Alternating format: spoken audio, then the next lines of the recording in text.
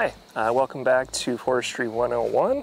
Uh, today we're going to be talking about forest inventory and why forest inventory uh, is important for us uh, as foresters uh, as well as uh, forest and woodland owners. And so forest inventory is really a systematic collection of the data within our forest as well as the information that's contained within that forest so that we can assess it and analyze it for, for our different management objectives. In forestry, we often call a timber inventory a timber cruise. Uh, and cruises can be used to visually assess uh, the timber and determine potential risks, uh, whether that's uh, insect and disease vulnerabilities, uh, wildfire risk, or any other uh, risk to perturbation. we can assess that during timber cruise. additionally, we can combine our timber cruises with wildlife surveys and determine the number and type of wildlife found within that, within that forest. So a timber cruise is really a sample uh, of the stand. And often we use uh, plots to help us uh, with these samples. So generally when we're doing a timber cruise, uh, this is going to include uh, measurements that will help us estimate uh, merchantable volume. And so we'll take the DBH, so the diameter at breast height. Uh, we'll take the merchantable height, uh, generally a number of logs, either 8 foot or 16 foot logs. Uh, and then we'll calculate, uh, rather subtract uh, the defects that are found within uh, that particular tree.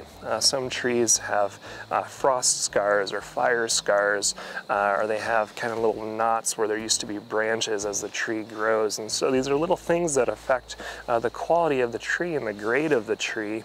Uh, and thus uh, impacting how valuable or, or how much that, that particular tree uh, is worth. And so when we're taking sample plots, we have uh, a fixed area plot or a fixed radius plot. Uh, and generally that means that it's a fixed circle. And so we have uh, an area that we're sampling. Generally, uh, we're either sampling a 10th acre plot or a fifth acre plot. Uh, and so we can calculate the area of that plot uh, and then uh, calculate the radius that it would take to sample that, that particular area. And so a fifth acre plot uh, is a pretty large plot uh, and that would have a radius of about 52.7 feet. And so you'd have a plot center and you'd stick uh, a stake or a flag or, or a stick at plot center and then you'd walk out tape measure 52.7 feet uh, and then you'd swing all the way around that circle 360 degrees uh, and you'd measure every tree found within that circle so every tree was within within uh, your plot so plot size is, is important when we're trying to calculate a per acre basis uh, or, or, a, or, a, per unit area basis, right? So the area of the, the forest tract, if we want to calculate uh, or estimate all of the standing volume uh, in our particular woodland, uh, we need to be able to um, expand uh, or extrapolate that data from the plot level uh, to a per acre and beyond uh, estimate. And so if we have a fifth acre plot, uh, we'd simply multiply by five, right? So we have a fifth acre, so five is our denominator. Uh, five is gonna be our expansion factor uh, for multiplying to a per acre basis. And so we take the amount of volume in that particular uh, half, or excuse me, that fifth acre, and we multiply that by five, and we can say this is an estimate of the volume, or this is an estimate of the number of trees, or this is an estimate of the density uh, at a per acre basis. And we can again expand that to a larger area. Say we're working in, in 30 acres or so we can again multiply that number by 30 uh, to get an estimate of, of the area of our uh, our total uh, tract of forest or our woodland.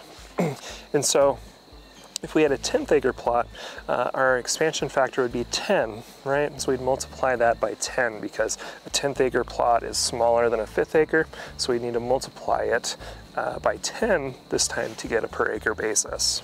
So finally that leads us to the question, how many plots should I take?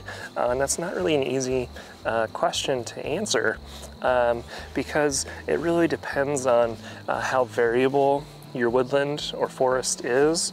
Uh, if you have a lot of heterogeneity, that being a lot of different species and pockets of species and different sizes and different structures, uh, both vertically and spread out horizontally across your woodland and forest, uh, then you'll need to increase the number of plots uh, to, to be uh, statistically uh, accurate or significant in your estimates of what's actually contained in the forest.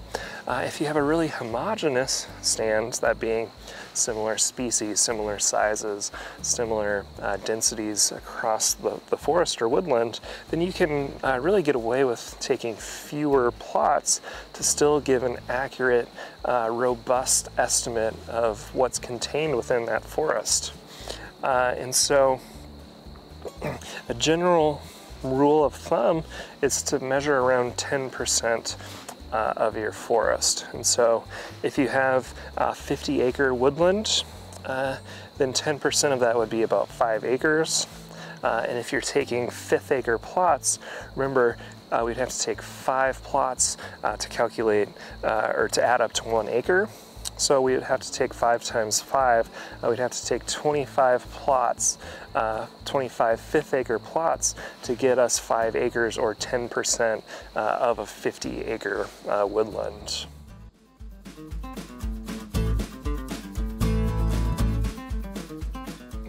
So we need to determine the size of our trees. And so we take a measurement called uh, DBH or diameter at breast height. And so that's about 4.5 feet uh, from the ground uh, up on the tree. And so we take uh, a diameter uh, of that using uh, a logger tape. And so here I've got a logger tape, and so I pull the two ends together, and I can see I've got about 21 or 20.1 uh, inches in diameter for this tree. Additionally, we can use what's called a Biltmore stick uh, to help us uh, estimate uh, the size or the, the, diameter of the tree or the DBH of the tree. And so we've got uh, a calibrated cruiser stick here uh, that will give us an estimate of, of the diameter uh, at breast height. And so we put this stick, the Biltmore stick, up against the tree.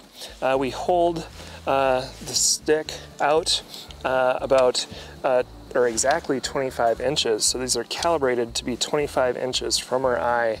And so uh, we hold this 25 inches uh, and then we look, we line up this edge to the side of the tree, the edge of the bark, then we look through uh, on this side and we can see uh, again I'm getting right at about uh, 20 uh, to 21 inches uh, for our DBH. And so this isn't as accurate of an estimate, but it helps us give really quick estimates uh, moving through our forest and doing our, our plots. When we're measuring the height of a tree, again, we can use a couple different instruments. we can use uh, this Merritt hypsometer, uh, which is calibrated again on this uh, Biltmore stick uh, to help us get an estimation uh, or estimate of logs. And so you can see here on this scale, uh, it's got from zero to one, one to two. And so these are the number of 16 foot logs when we're standing 66 feet away from the tree and we hold the stick up uh, perpendicular to the ground and then we look up the tree. We place this end on the at the base of the tree or we could put it about a foot off the ground uh, which is typically the stump height or where the tree will be cut uh, when it is uh, harvested. And hold that up and we can calculate the number of logs by looking at this we can also use uh, this laser hypsometer uh, to help us measure tree heights or merchantable height uh, of the tree. And so if we use this hypsometer, we're looking through, we're taking a couple different uh, angles to where we see the merchantable height uh, and then to the base of the tree. Uh, and then it uses some lasers where it shoots the horizontal distance to that tree then it calculates the angle looking up and then the angle looking down. And so we're using some uh, trigonometry equations to calculate uh, the height of the tree. It's all contained within this little device here. Uh, and then we can uh, calculate the number of logs within that particular uh, length uh, of, of tree up to the merchantable height.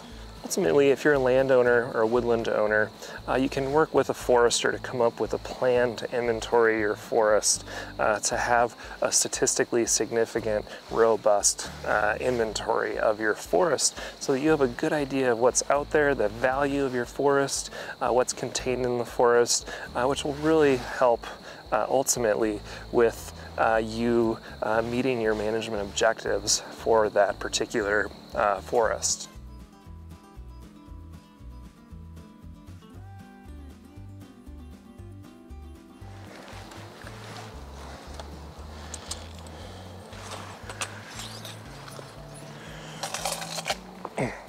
Thanks for joining me today. I hope you learned a little bit more about forest inventory uh, and why it's so important that we sample our forest through taking plots uh, that will help us get a better idea of what's contained uh, out here in these forests and woodlands. Uh, the more we know about the forest, the more we know, the more information we have and data we have, uh, the better we can manage uh, and meet our management objectives and reach our management goals. and so please reach out with any questions to UK Forestry Extension uh, and until next time, I hope you're well, and we'll see you later. Thanks. Bye.